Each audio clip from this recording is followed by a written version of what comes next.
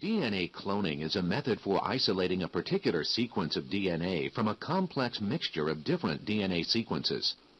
In order to clone a fragment of DNA, we need to insert it into a vector, usually a highly modified phage or plasmid that can replicate in a host cell.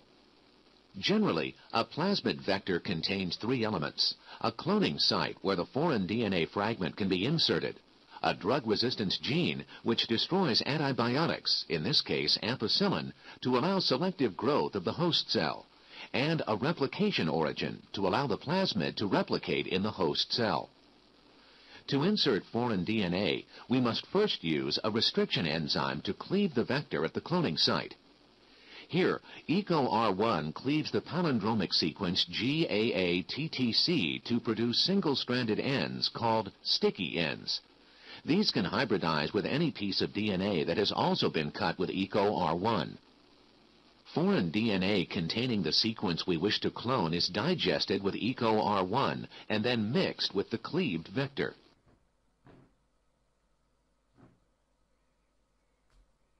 The sticky ends of the foreign and plasmid DNA molecules hybridize and then are sealed into phosphodiester linkages by the enzyme DNA ligase, creating a recombinant plasmid.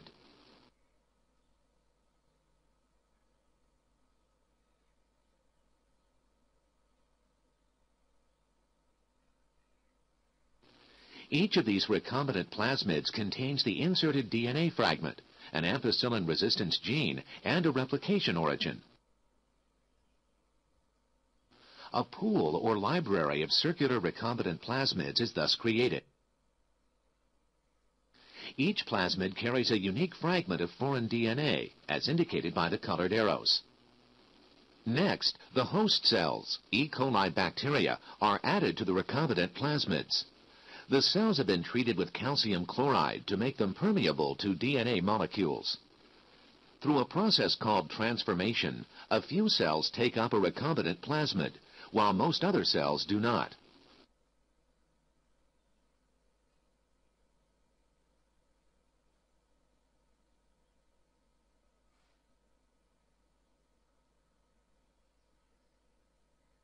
The bacterial cells are poured onto a plate of nutrient agar containing the antibiotic ampicillin. With ampicillin in the agar, only cells resistant to the drug can grow. At 37 degrees, the cells will grow and multiply. Because they cannot move on the agar, each will produce a separate colony of cells.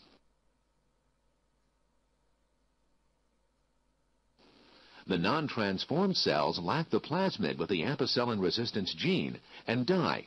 Cells that have a plasmid are resistant to ampicillin and survive.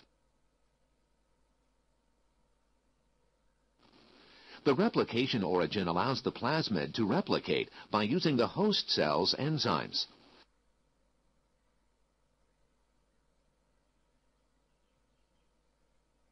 Plasmid replication is independent of host cell division, but plasmids are distributed to each daughter cell when the host cell divides.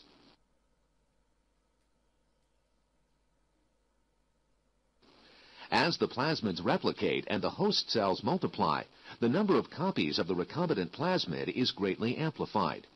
The multiple daughter cells form a colony or clone. Because all the host cells in a colony are derived from a single cell, they all contain copies of the same recombinant plasmid with its fragment of foreign DNA. A variety of assay methods can now be used on the bacterial colonies to determine which contains the particular DNA sequence we wish to isolate.